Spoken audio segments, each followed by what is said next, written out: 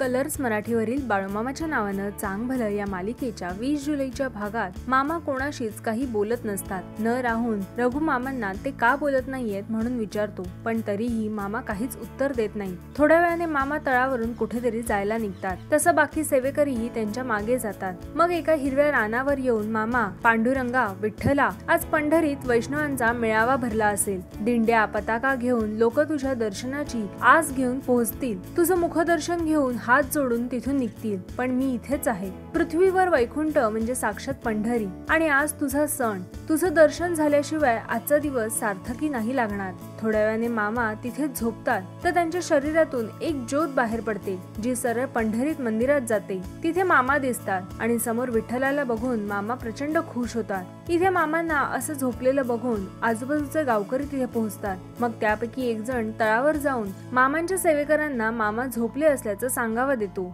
रघु दत्तू मल्लपाला जसं हे सांगावा मिळतो तसं ते लागलेच मामांना बघायला निघतात. तर इथे विठ्ठल बाल रूपात प्रकट होतात पण बाळूमामांकडे ते बघत पण नाही आणि काही बोलतही नाही.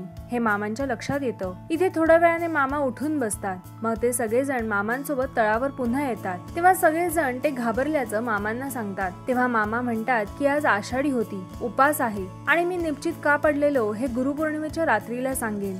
आज आषाढी आहे ज्याला उपास करायचा त्याने करा आणि ज्यांना नाही करायचा त्यांनी जेवून घ्या असं म्हणतात. मग मामांना रात्री विठ्ठल पुन्हा येऊन भेटतात. तेव्हा विठ्ठल म्हणतात तू पंढरपूरमध्ये येऊन गेलास पण तुझ्याशी बोलणं झालं नाही. म्हणून मीच प्रत्यक्ष तुला भेटायला आलो. तेव्हा मामांना प्रचंड आनंद होतो आणि ते हात जोडून यापुढे आषाढीला तरी तुझं दर्शन चुकवणार नाही असं म्हणतात. तेव्हा पांडुरंग त्यांना सांगतात तुला नाही जमलं भेटायला तर मी येत जाईन. आता तरी माझ्यावरचा राग गेला का? तेव्हा मामा त्यांना तुझ्या भेटीची ओढ आहे. मी तुझ्यावर कसा रागवणार? तू माझ्याशी बोलला नाही याचा राग नाही आला. पण तू माझ्याकडे वळून पण बघितलं नाही त्याचं वाईट वाटलं असं म्हणतात. तेव्हा निघताना पांडुरंग मामांना दुसऱ्या दिवशी उपास सोडायला सांगतात. आणि तळावर मेंढरांची सेवा करायला मी स्वतः येईन असंही म्हणतात. मालिकेच्या आगामी भागात जासूदने बाळूमामांची प्रतिमा कोणाला तरी देऊन टाकलेली असल्याने चंदुलाल शेटजींच्या बायकोला प्रचंड वाईट वाटत असतं. आता जासूदने ती प्रतिमा कोणाला आणि का दिली असेल? हे जाणून घेण्यासाठी नक्की बघा.